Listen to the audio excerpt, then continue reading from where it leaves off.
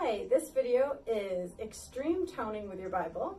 So if you have not checked out the first video, uh, just called toning with your Bible, make sure you do that. Um, so yeah, so get your Bible um, or possibly a book or some other schoolwork and we'll try some more intense toning exercises. So the first one we're going to work on is doing a full plank. So remember, you want to keep a nice straight line from top of the head to the feet as best you can um, and really tuck under.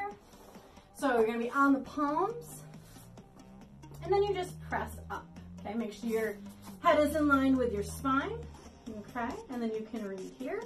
You could do a couple of variations by raising the leg if you wanna make it harder or pulsing, okay? But that would be doing a plank. All right, another kind of plank we're gonna do today is called a side plank. And this one's really good to tone the obliques.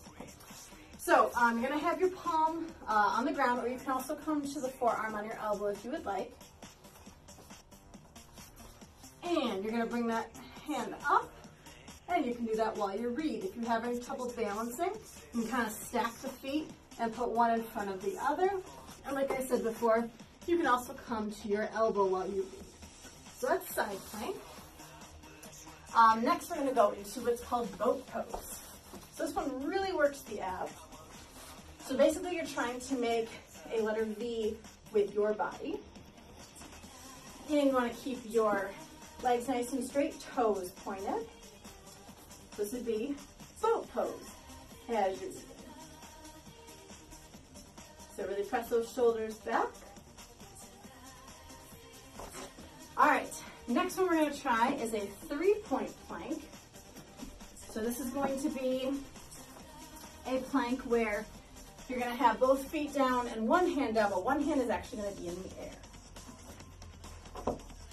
So, and you can uh, press the feet out just a little bit more um, to be a bit more stable in this one. Okay, so this would be our three-point plank to read your Bible. This one really works the abs quickly. All right, next we're gonna do one where you're on your back. So we're gonna work the abs a little bit while we do it. So you've got your head and back on the floor. Really try to tuck your pelvis so that there's no space with your upper back. So you gotta kind of tilt that pelvis forward so you got a nice flat back. Okay, so you got your Bible right in front of you. And you can just hover the legs or you can raise and lower them while you're reading, keeping them nice and straight. And you can also do some scissor abs. And this is another way to uh, really tone those tummy muscles.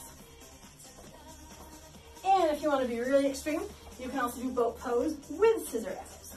So you're coming up into boat, and you're scissoring the feet while in boat pose.